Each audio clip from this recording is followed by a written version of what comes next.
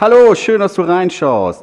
Hier im Video erklären wir dir einmal die Boxkniebeuge, also letzten Endes die Kniebeuge, bei der man sich auf eine Box setzt.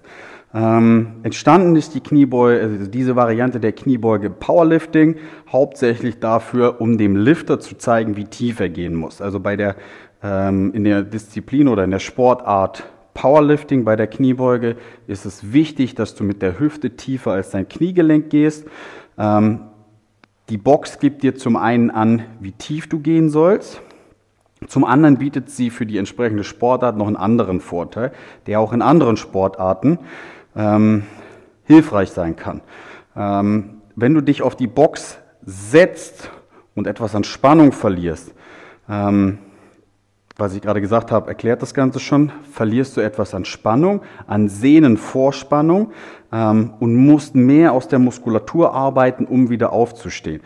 Ähnlich wie beim Kreuzheben. Beim Kreuzheben ruht das Gewicht am Boden. Das heißt, du musst erstmal ein ruhendes Gewicht beschleunigen. Bei der klassischen Kniebeuge, wenn du von oben runter kommst, sind die Sehnen bereits unter Spannung und die elastische Energie, welche in der Sehne gespeichert ist, hilft dir auf dem Weg nach oben eben durch die elastische Energie.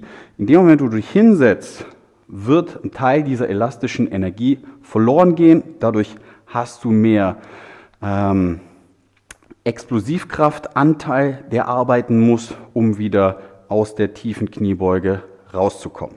Das sind die zwei Vorteile, die dir die Boxkniebeuge gibt. Grundsätzlich wird bei der Boxkniebeuge im Gegensatz zu der klassischen Kniebeuge auch eher in der Hüfte gebrochen. Sprich, es wird nicht als erstes das Knie nach vorne geschoben, sondern als erstes der Po nach hinten geschoben. Dadurch ist diese ganze Variante dominanter für die Hüfte, also die Hüftmuskeln, der Po, ähm, die Hamstrings und auch der untere Rücken arbeiten hierbei mehr mit. Die Hantel wird letzten Endes genauso aufgenommen wie bei der klassischen Kniebeuge. Die Lisa zeigt euch das jetzt einmal. Äh, genau.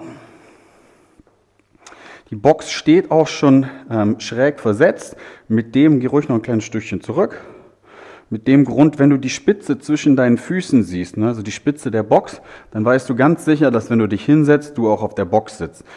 Bei einer Bank, also bei einer Langhantel, äh, bei so einer Trainingsbank kann das mitunter mal sein, dass du wirklich an der Kante stehst und dann das Gefühl hast, dass du die Box verpasst. Das ist natürlich eine Katastrophe, wenn du schweres Gewicht bewegst und schon mal nicht weißt, ob die Übung sicher ist.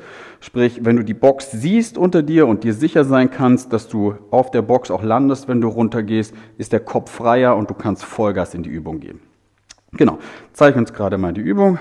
Genau, da sieht man noch schon, die Lisa geht als erstes in dieser Bewegung mit dem Po nach hinten, im Gegensatz zu der klassischen Kniebeuge, die ihr auch in dem anderen Video gesehen habt bei der wir mit der äh, Kniebeugung beginnen. Auch hier Gewicht bleibt auf der Ferse und oben die Knie ganz durchstrecken. Genau. Sehr gut. Gut. Äh, wenn du Fragen haben solltest, ähm, schreib mir sehr gerne ähm, in die Kommentare eine persönliche Nachricht. Ich freue mich in jedem Fall von dir zu hören. Ähm, Vielen Dank fürs Reinschauen. Wir sehen uns im nächsten Video.